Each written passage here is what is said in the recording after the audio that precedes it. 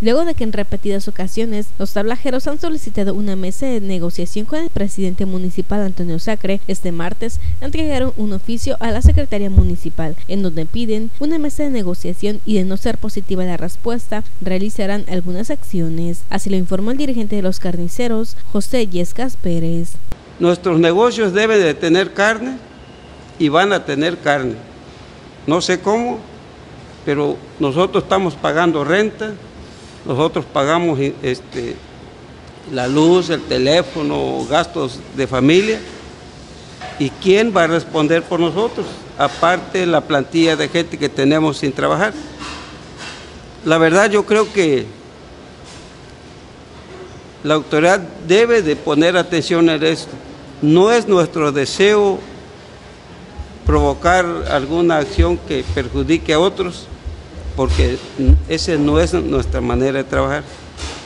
Pero en este caso ya se le está entregando un oficio donde nuevamente se solicita la audiencia.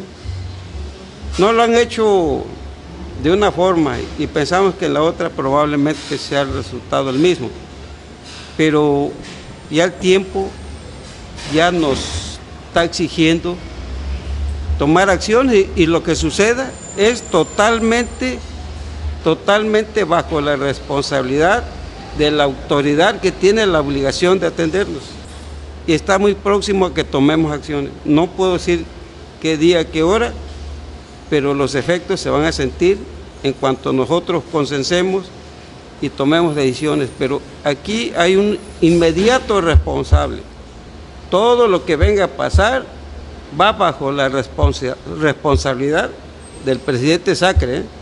que quede claro, no es amenaza, pero exigimos como ciudadanos el derecho al trabajo, se nos está violentando, el derecho del consumidor de elegir lo que quiere y todavía privarnos el derecho a ejercer nuestro, nuestro oficio de carnicero creo que ya, ya se está llegando al límite. Por eso hoy, una vez más, y a través de este medio, hacemos directamente responsable de lo que venga a suceder como consecuencia de esta cerrazón al señor presidente Antonio Saque Rangel.